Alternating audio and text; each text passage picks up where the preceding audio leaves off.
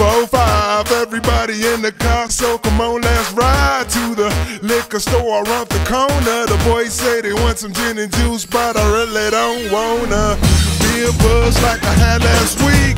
I must stay deep, cause talk is cheap. I like Angela, Pamela, Sandra, and Rita. And as I continue, you know they're getting sweeter. So what can I do? I really bag you, my lord. To me, flirting is just like a sport.